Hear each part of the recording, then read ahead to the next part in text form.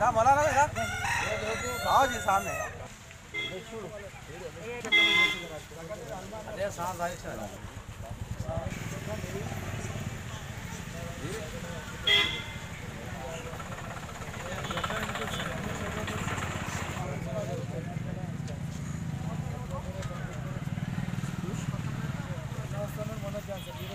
మాట్లాడకుంటే పనులున్నాయనా పనులు లేవా కొంచెం అంటే జరగదు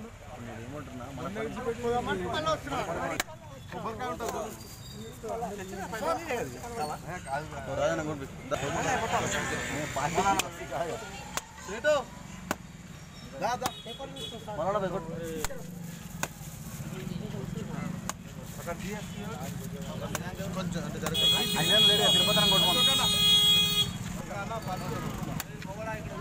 గడపర కడి పైకి పాట గడపర కడి क्या खड़ा पर?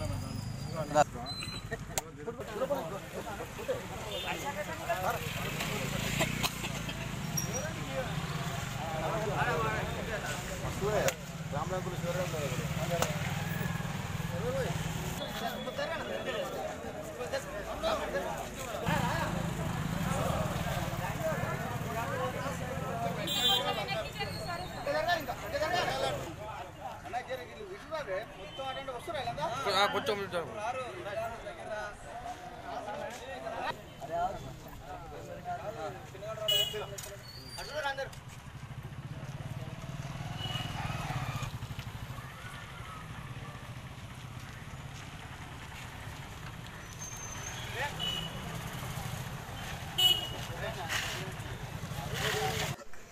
ఈరోజు one twenty five division Sriram Nagar NTR Nagar తదితర బస్సుల్లో మిషన్ భగీరథలో భాగంగా మరి ఎమ్మెల్సీ గారు ఎమ్మెల్యే గారు కార్పొరేటర్ గారి ఆధ్వర్యంలో వారి యొక్క మరి వారు చెప్పిన విధంగా ఈరోజు ఈ యొక్క మందిర పైప్ లైన్ పనులను ప్రారంభించడం జరిగింది.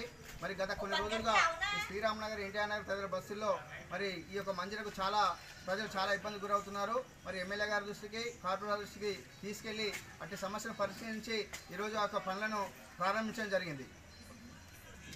నూట ఇరవై ఐదవ డివిజన్. రాజుల రామారావు డివిజన్ పరిధిలోని ఎన్టీఆర్ నగర్ శ్రీరామ్ నగర్ ప్రాంతంలో ఈ యొక్క మంజీరా పైప్ లైన్ని ఇనాగ్రేషన్ చేసుకోవడం జరిగింది.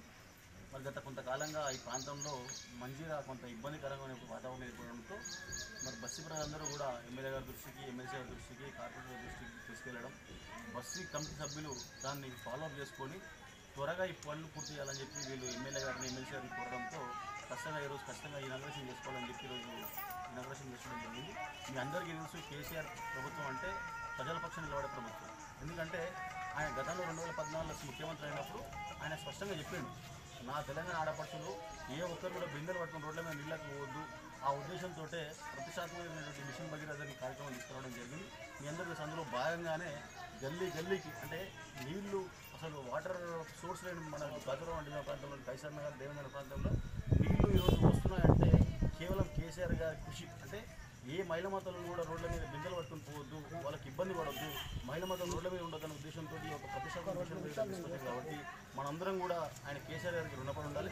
ఖచ్చితంగా మనకి ఇంత మంచి అవకాశం ఇచ్చినటువంటి ముఖ్యమంత్రి గారికి అదేవిధంగా తెలంగాణ ప్రభుత్వానికి కృతజ్ఞత తెలియజేసుకుంటూ మరి కార్యక్రమం పాల్గొన్న కమిటీ సభ్యులందరికీ కూడా తిరుపతి రెడ్డి గారికి మల్లేష్ గారికి రాములు గారికి గురప్ప గారికి కృష్ణ గారికి నరసింహ గారికి పేరు పేరున